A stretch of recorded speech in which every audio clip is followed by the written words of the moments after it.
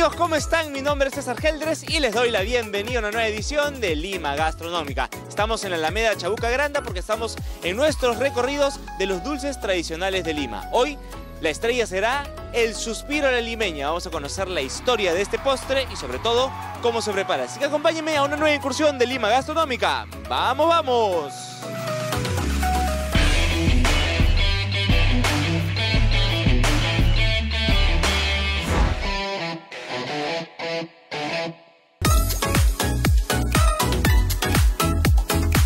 Uno de los postres más emblemáticos de la gastronomía peruana es sin duda el suspiro la limeña. Este clásico dulce es excelente para degustarlo en una tarde de invierno o para coronar el almuerzo perfecto. El limeño se, se hace a base de leche condensada, leche evaporada y lleva este, un merengue con vino, una miel caliente. Se, se bate y sale bien, sale bien crema, sale el, el merengue.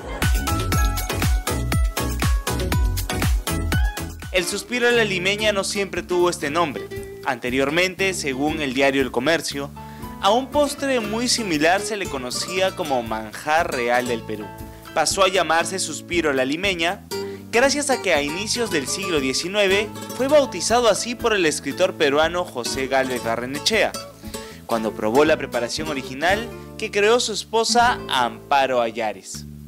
El poeta escribió un romántico verso, un suave y dulce suspiro de una mujer. Así capturó la esencia de este postre, detalle que rinde homenaje a la mujer limeña.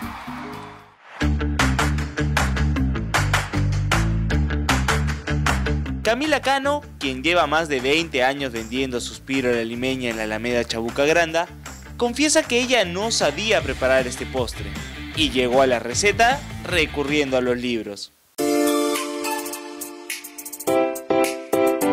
Me pidieron que haga suspiro limeña. Entonces, como yo no sabía, dije, pues preguntaba en todos lados, no hay nadie conocía, nadie sabía.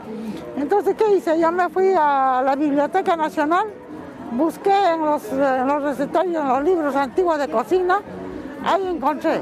No te creo, en serio. Sí, y saqué la receta ahí y preparé. Estoy ensayando en dos oportunidades, hasta que me salga bien, pues, ¿no?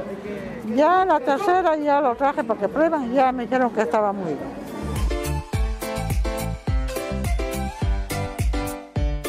Llegó el momento de probar este suspiro a la limeña de nuestra amiga Camila aquí en la Alameda Chabuca Granda.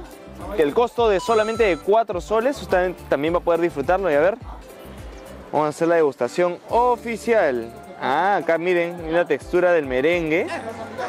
Muy cierto lo que nos dice, ¿ah? es la textura ideal, ¿cierto? A ver. Mm, Muy bueno, ¿ah? Mm. Wow, no recuerdo hace cuánto tiempo no he probado un suspiro de limeña, pero este está. Mm. Buenazo, ¿ah? Mm.